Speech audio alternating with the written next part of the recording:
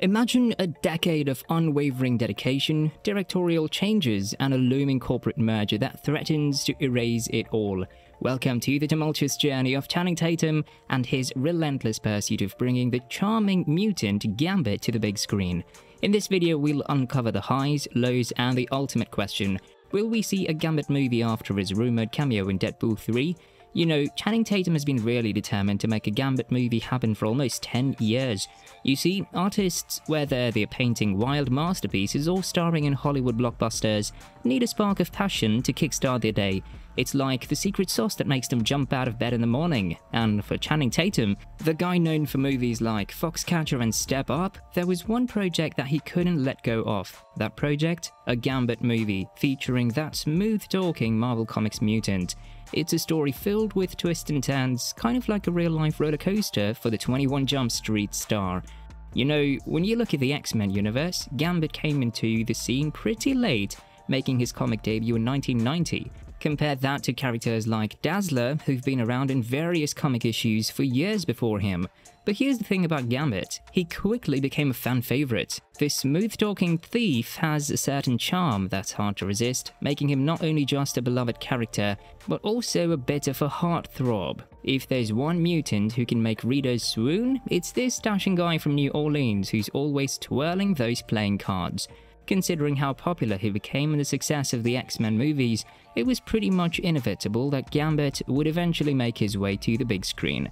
You wouldn't believe how close Gambit came to making his big screen debut a decade ago. After a brief mention in X2 X-Men United, he was all set to appear in X-Men The Last Stand, Channing Tatum was even running to play Gambit in that movie, but oh boy, it was a wild ride. The production was a mess, with scripts constantly changing, and that chaos ultimately led to Gambit's character being axed from the film.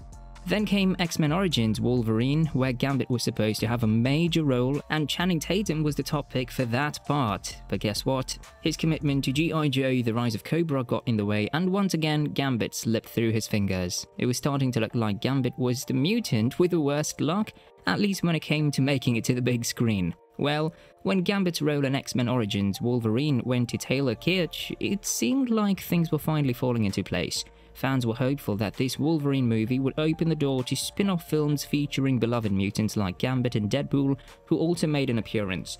But X-Men Origins Wolverine turned out to be a bit of a joke, and not in a good way. It didn't quite hit the mark, and as a result, all those dreams of a standalone Gambit movie were basically washed away. 20th Century Fox decided to shift their focus to other comic book properties, like X-Men First Class. So no matter how badly Channing Tatum or anyone else wanted to be Gambit, it looked like it just wasn't on the cards anytime soon. In the early days of 2014, something exciting was brewing in the X-Men universe. Producer Lauren Shuler Donner dropped a bombshell when she announced that they were making room for Gambit once again, and this time Channing Tatum was stepping into the role. They were brainstorming ideas for a standalone Gambit movie, even though 20th Century Fox hadn't officially given it the green light yet. But you could feel the passion simmering behind the scenes. What's interesting is that this revelation came before the Deadpool movie revival, and we all know how that turned out massive box office success, and a newfound obsession at Fox with standalone X-Men spin-offs. So the fact that they were already considering a Gambit movie at that point shows just how much enthusiasm there was to bring this card-slinging mutant to life even if it didn't quite fix into Fox's initial plans for the X-Men saga. By May 2014, just four months after Donner's comments and roughly a year after Tatum had made headlines talking about his love for Gambit during the White House Down press tour, it had become official. A solo Gambit movie starring Channing Tatum is now on the docket at 20th Century Fox. At the time, no creative team beyond the producers was attached to the motion picture, but there were initial plans to introduce Tatum's Gambit in X-Men Apocalypse.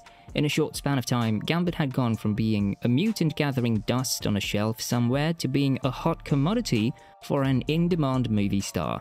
As the pieces fell into place, the Gambit movie started picking up even more steam. In October 2014, they brought on Josh Zetumer as the first official screenwriter for the project. Then in early 2015, 20th Century Fox dropped a bombshell. Gambit was scheduled to hit theaters on October 7, 2016. This was big news, especially because Fox already had two other X-Men projects lined up for 2016, Deadpool and X-Men Apocalypse. It was shaping up to be a monumental year for Fox's Marvel ventures.